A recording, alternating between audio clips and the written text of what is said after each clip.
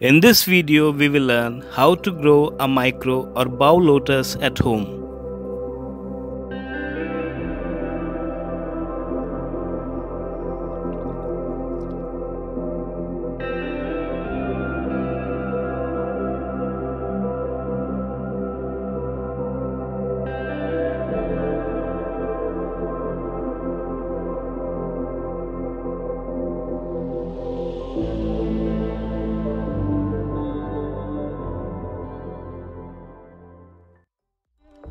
Subscribe and press the bell icon on the YouTube app and never miss another update from Urban Gardening. For a micro bowl lotus variety, use a bowl or container without drainage holes. If holes are present, then just use a sealant to close the holes.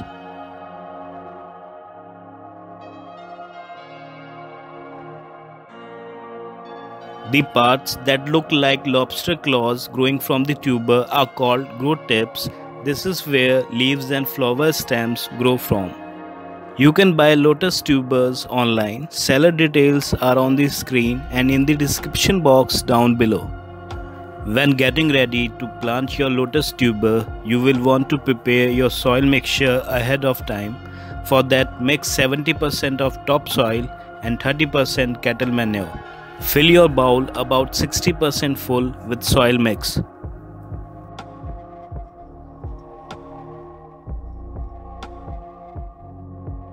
Make sure there is still sufficient space between the top of the soil layer and the rim of the bowl. Dig a shallow trench about 2 to 3 inch deep across the top of the soil mixture.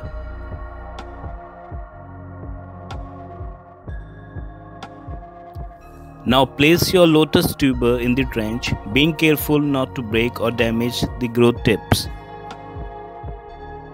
Gently cover the tuber by bringing soil up around the lotus tuber, being careful to keep the growing tips exposed.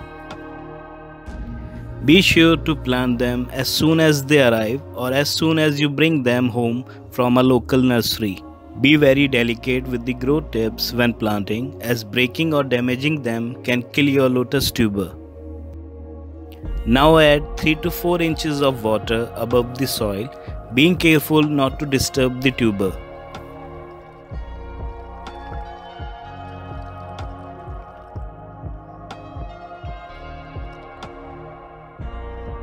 Place the bowl in full sun. 5 to 7 hours of direct sunlight is required for healthy growth. The growing tips will soon give way to the first small leaves called coin leaves.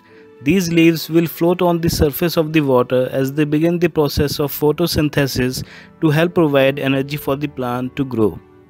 Change water after every 5 to 7 days to avoid mosquito breeding.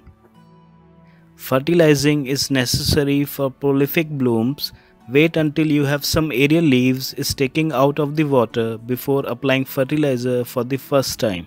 Keep half tablespoon DAP or NPK in a paper bag or packet. Now just push the packet down into the soil of your potted lotus plant.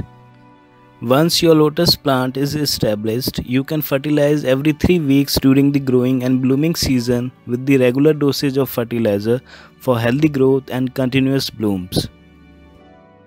It takes lotus plants about 50 to 65 days from the time of planting to begin blossoming.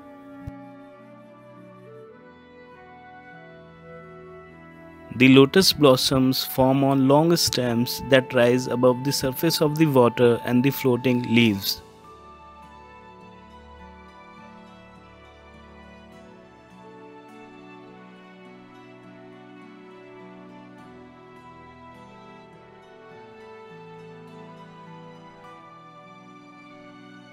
Change the water every 5 to 7 days or if it starts to appear cloudy, this will also prevent mosquitoes from breeding.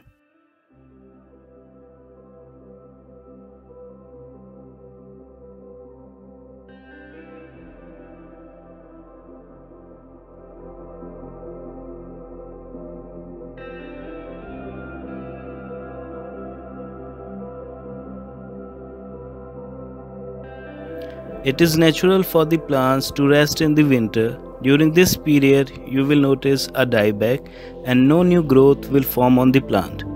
And in early spring, when you spot the first sign of new growth, give your lotus new fresh soil and return it to the original container.